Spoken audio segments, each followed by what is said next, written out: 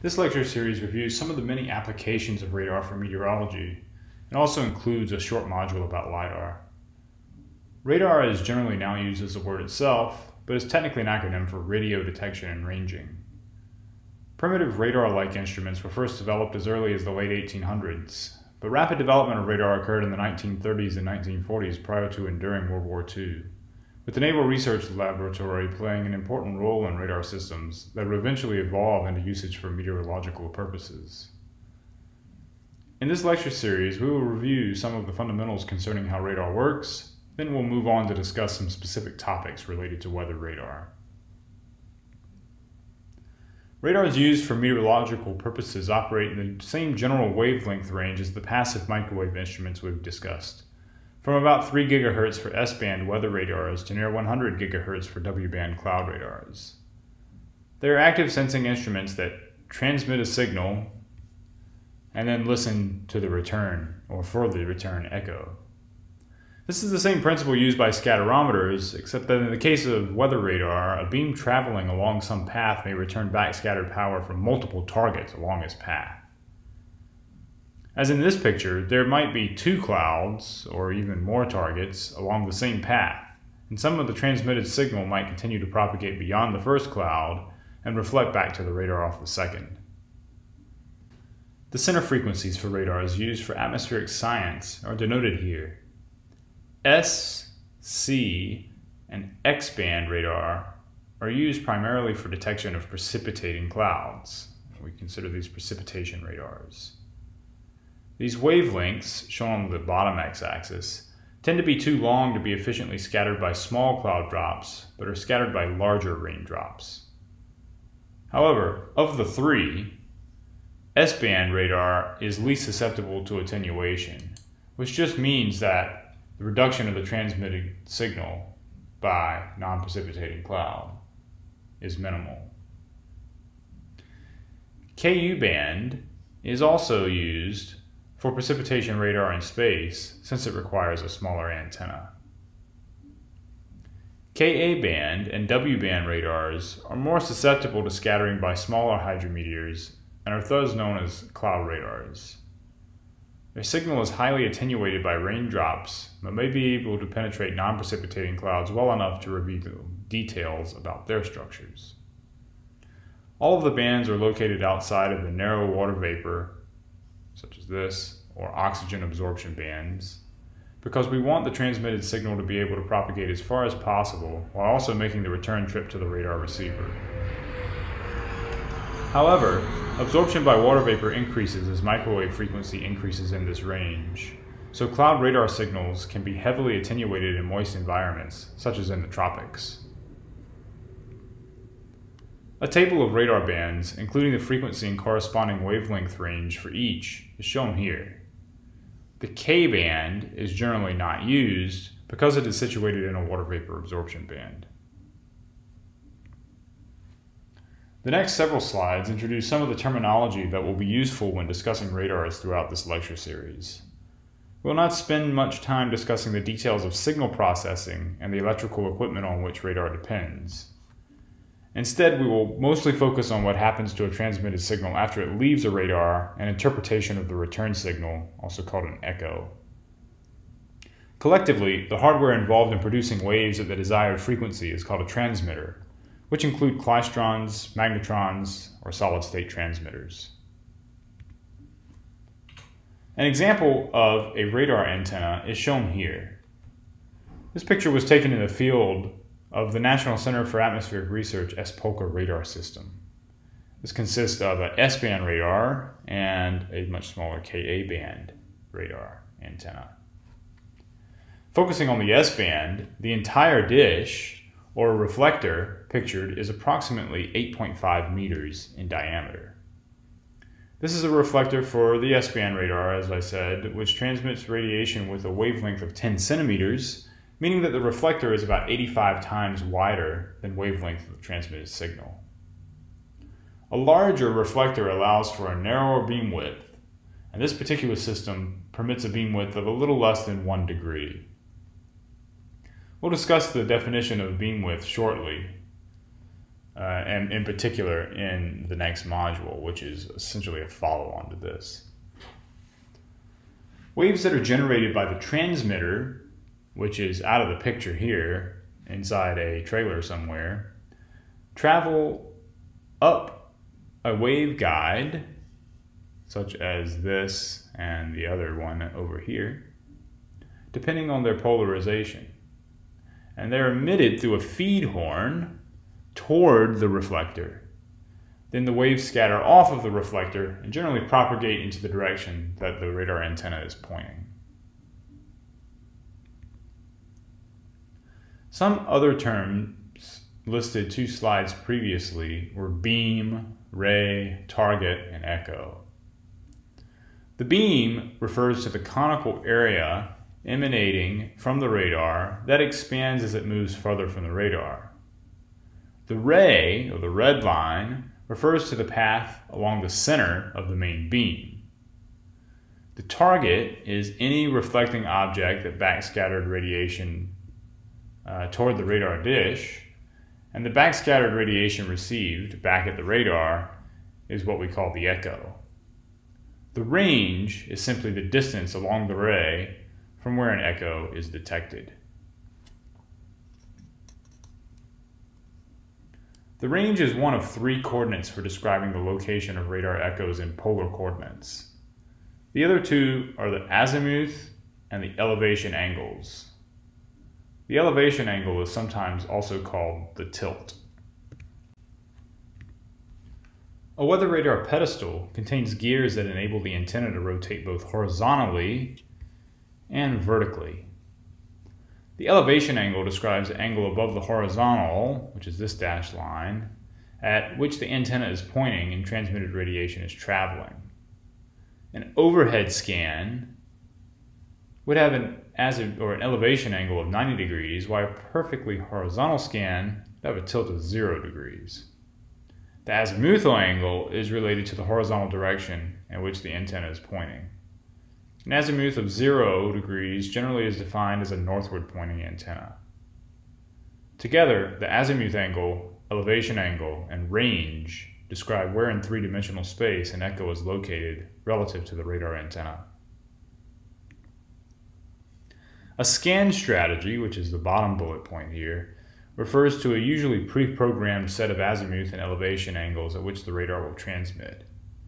For a weather radar, it consists of several sweeps that together are combined into a single volume of data.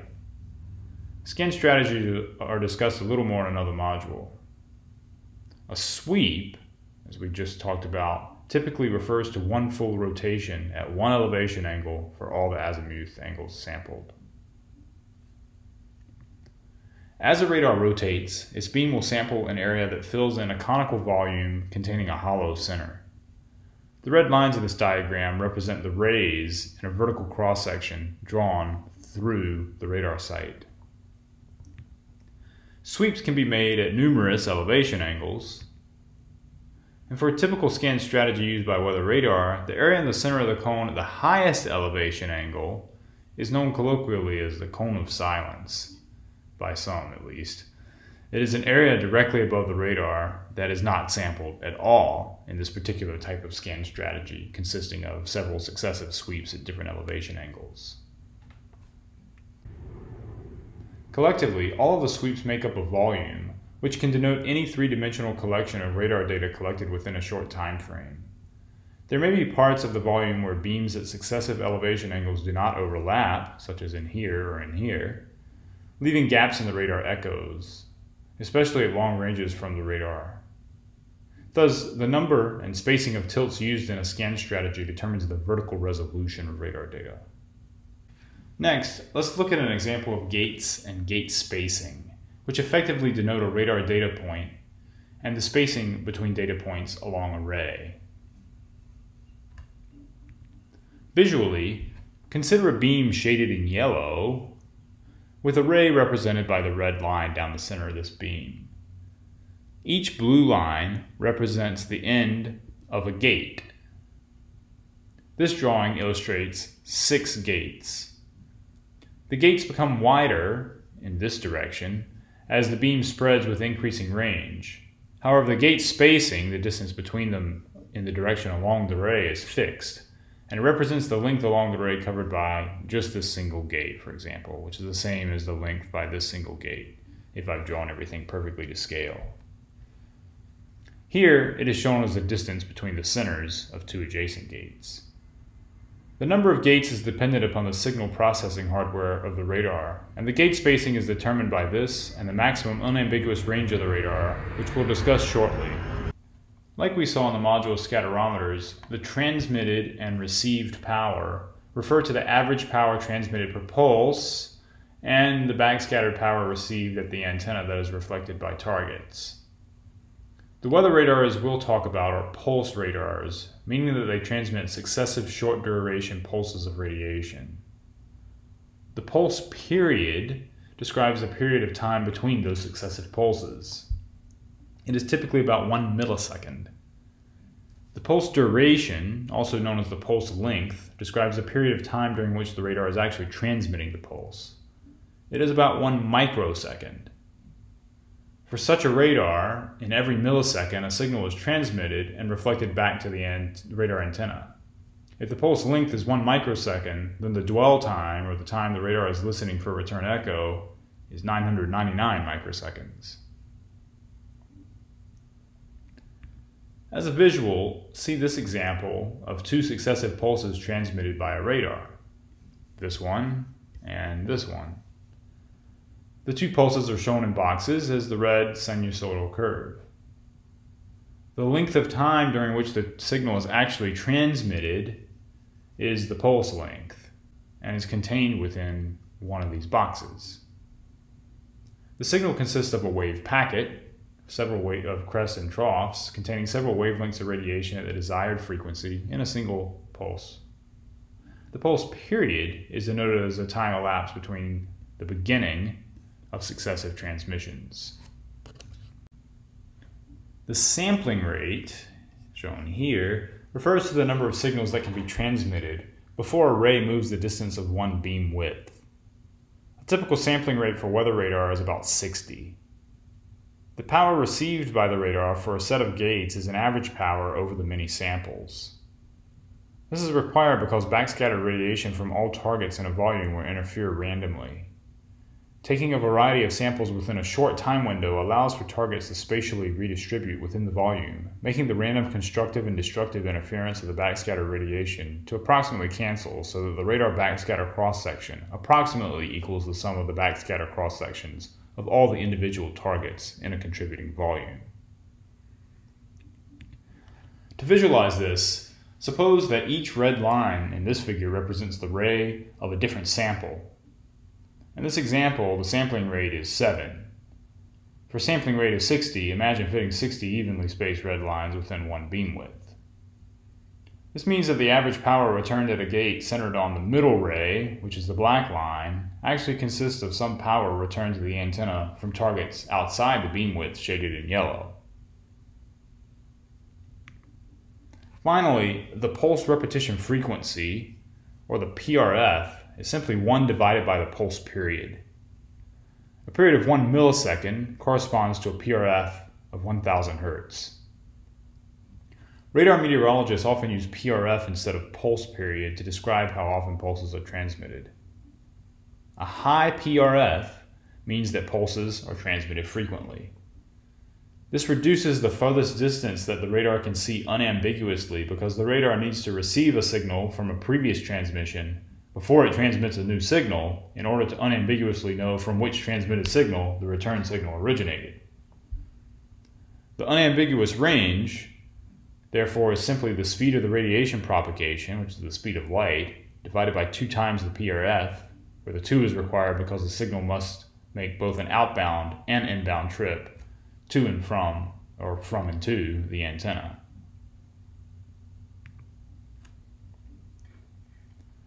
We've already discussed the wavelength and the range a bit, noting, noting the difference between range as one axis in a polar coordinate system and the maximum unambiguous range, which is a specific value of range in that coordinate system. The dielectric constant, the next variable we'll talk about, will be important when we, when we discuss stratiform bright bands in a different module. It is a property of liquid, generally water, or ice targets. The dielectric constant is a complex number consisting of parts that describe both an object's or medium's permittivity or conductivity. The norm of this number will be squared in the radar equation, which we'll see in the next module. Finally, all radar meteorologists must be familiar with conversion between linear units and decibel or logarithmic units. The potential mean power returned to a radar antenna often spans several orders of magnitude. Therefore, the processed raw signal, when converted to variables related to the size of targets, are often presented in logarithmic units. If z represents the radar reflectivity factor, which we'll talk about in the next module, then dBz is just 10 times the logarithm of z. Likewise, we can convert values of dBz to z. Note that a change of 3 dB roughly represents a doubling or halving of the variable of interest. And also note that we cannot do a linear average of numbers in a logarithmic scale. Any linear operators applied to reflectivity, such as summation, require that the decibel units are converted to a linear scale first. We'll continue with this discussion in the next module where we'll take a look at some of these variables in the context of the weather radar equation.